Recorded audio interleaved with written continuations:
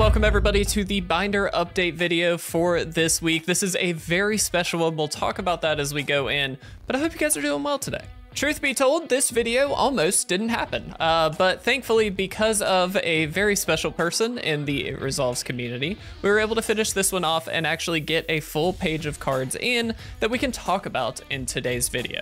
Now importantly, we're going to save those special cards for the very end, however, we actually do have some incredible value and some really awesome stuff to talk about as well that is unrelated to all of that. We've got some amazing cards to look through, I think we're gonna go ahead and jump right in. Let's do it. Let's see what we got in this week's binder update.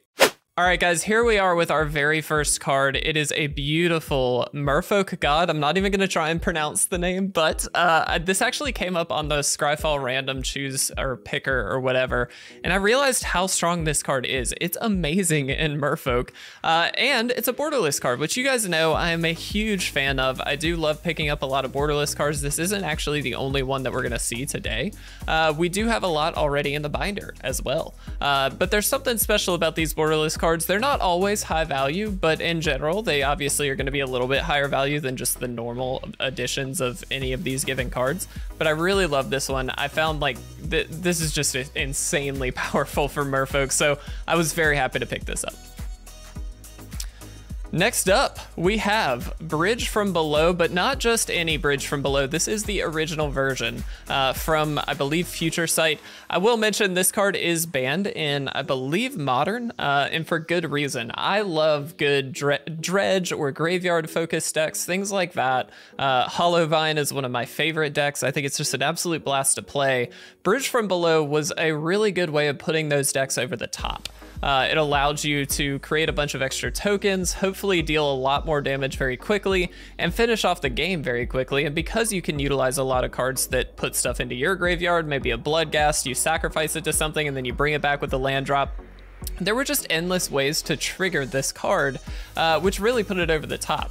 Uh, now, I actually have a full playset of this card in the Modern Masters edition, but I never actually owned the original version. Uh, and so I was really happy to pick this one up because, again, that, that cool card frame that they did during that time was so unique and it's never been seen since.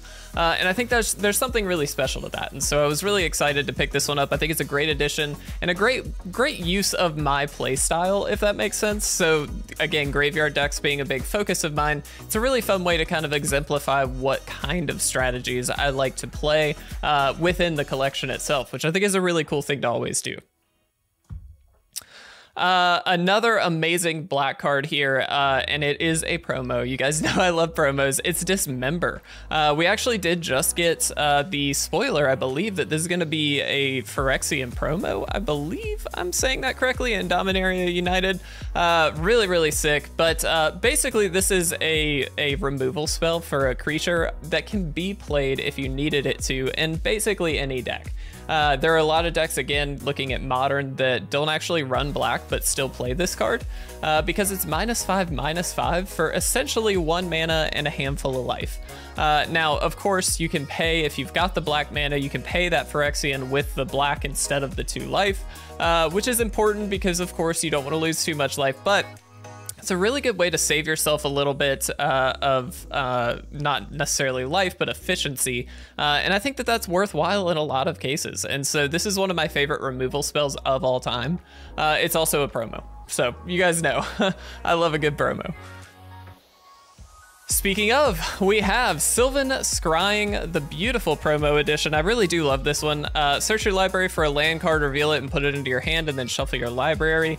This is a card that I believe was originally printed in like Mirrodin, uh, which was a really cool version, actually. I believe it featured Glissa on it.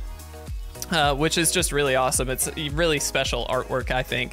Uh, this is a really pretty version. I would argue I like the other artwork better, but this is a promo and, you know, naturally we're gonna we're gonna throw it in the binder.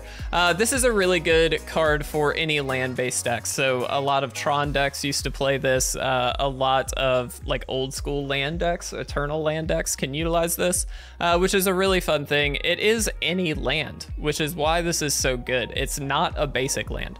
Uh, two mana sorcery isn't necessarily great, but it's any land in your deck. And if you're looking to solidify Tron as an example, uh, being able to just pick out that land immediately is like kind of amazing. So definitely a powerful card, and again, just a really nice promo to have.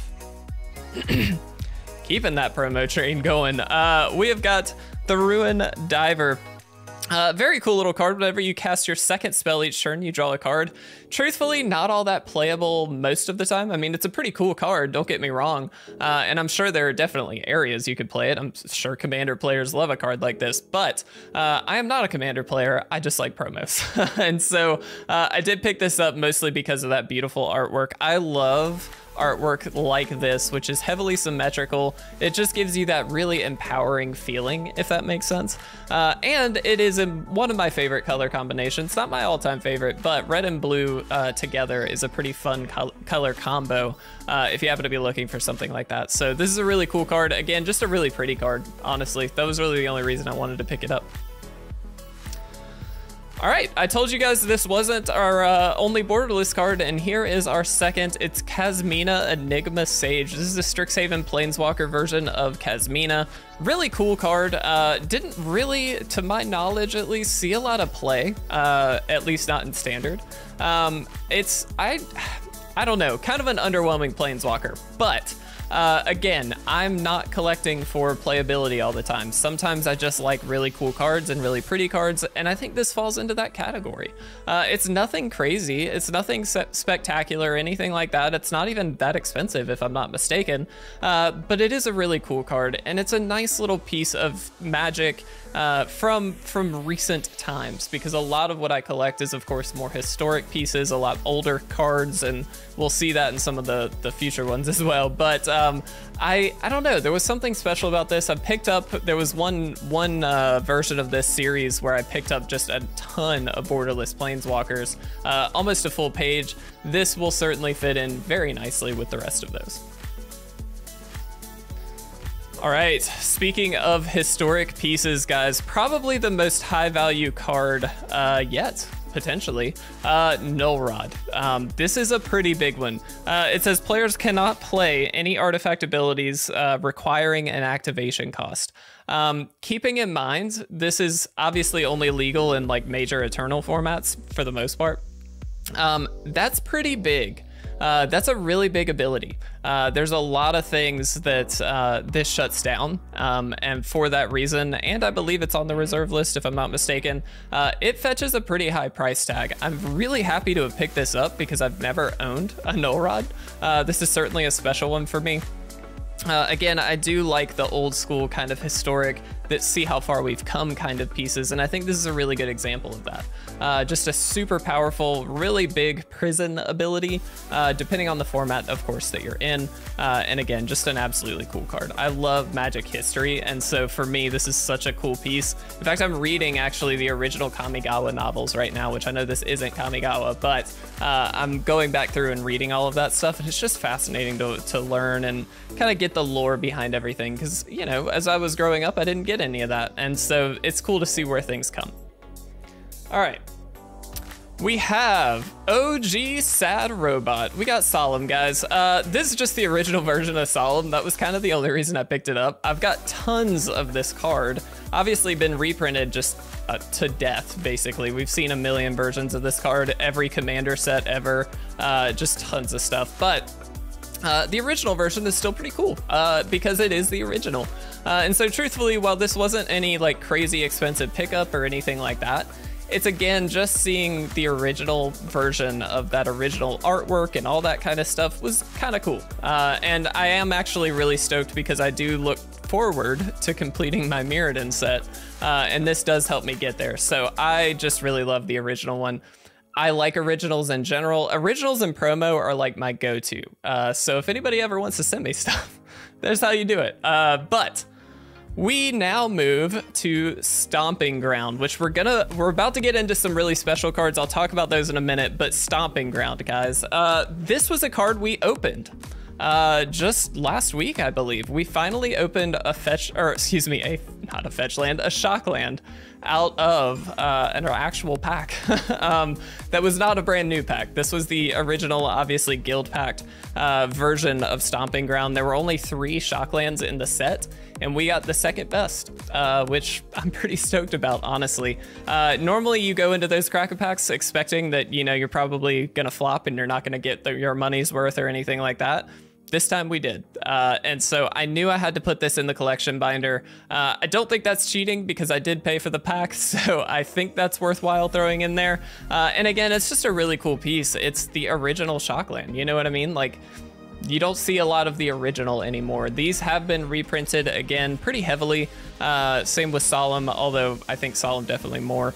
Uh, but it is just a really cool piece to see again the original artwork, the uh, the original set symbol, all that stuff is just so it's so key to me uh, when it comes to collecting. And so for me, that was exciting. Uh, I was really stoked to have this. So I know I'm kind of cheating a little bit because this was already in a video, but I think it was worth it. But here we go, guys. So we're moving on to the last three cards. John, if you're watching, uh, because I do believe you you oftentimes catch up on these videos, thank you.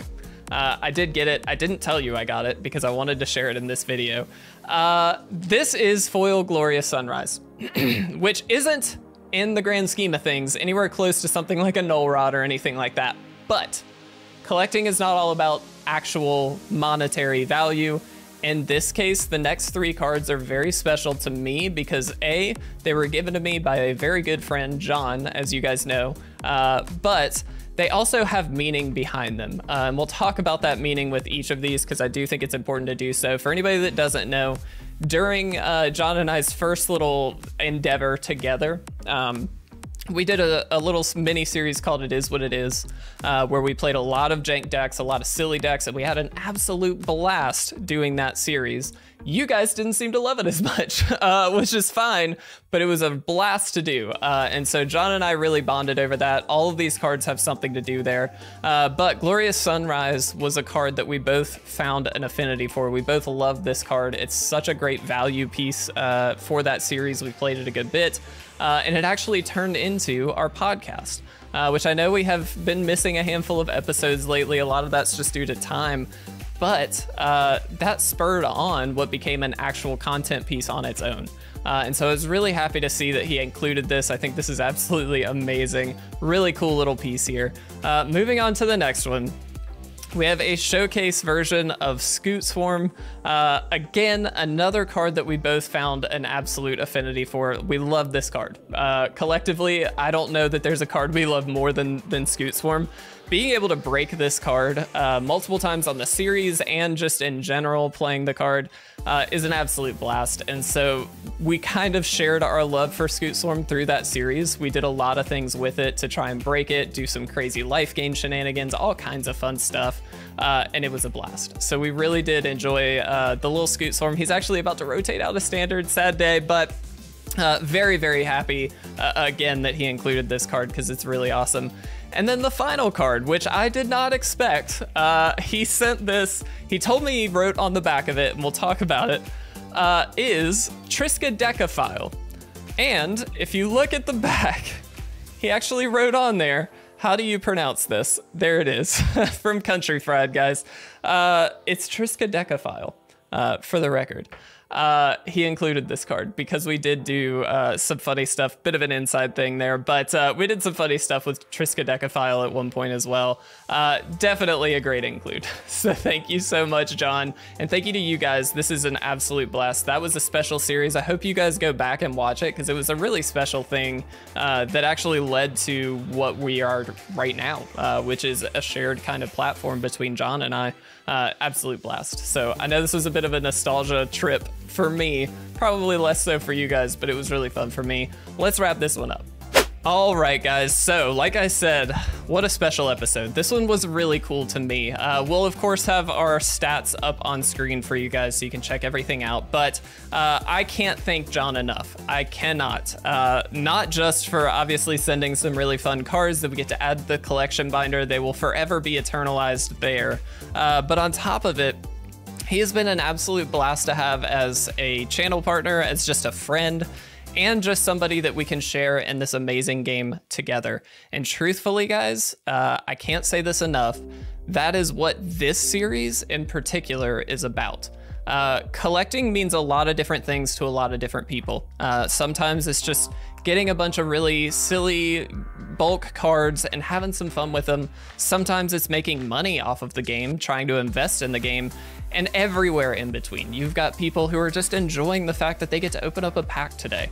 Uh, and I hope that you do. I hope that you enjoy it. I hope that you pick up cards that you really do love and not just, I don't know, just kind of flippantly go through it because I think I think there's something special about this game. I think there's something very special about collecting, and John and I are a prime example of uh, how it does bring not only content creators but just people together in a way that is really really beneficial for everybody. Uh, at least that's the hope. Um, and so I, I truly thank you guys for watching this series. I really do thank john for making this one a special episode. Uh, it will be titled how do you pronounce this? Um, and i think you know just the the game itself as a whole and the community as a whole because uh, this is I don't know, really special, uh, really, really special. Um, I don't know exactly how to put that into words, so I know I'm flailing a little bit, but just really important, guys. So thank you very much. I really do appreciate it. I hope you enjoyed this one. Uh, I know it was a little bit disjointed, but absolute blast, guys. Thank you so much. We'll have another one next week, so do not worry. We will be back on track for it. So I love you guys. Have a fantastic day. Don't forget to enjoy the game, and happy collecting.